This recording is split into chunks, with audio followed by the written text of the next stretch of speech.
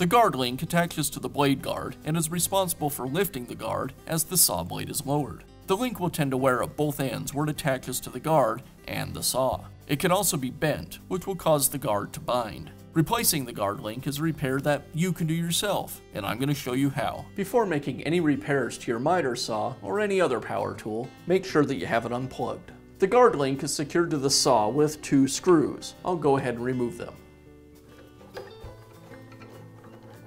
Each connection has both a screw and a bushing.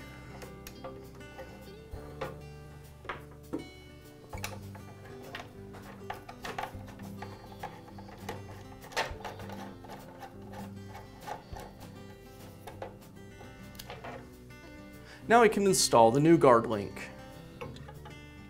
I align it with the saw, the slotted end goes on the guard, the bushing goes inside the slot, and I attach it with the screw.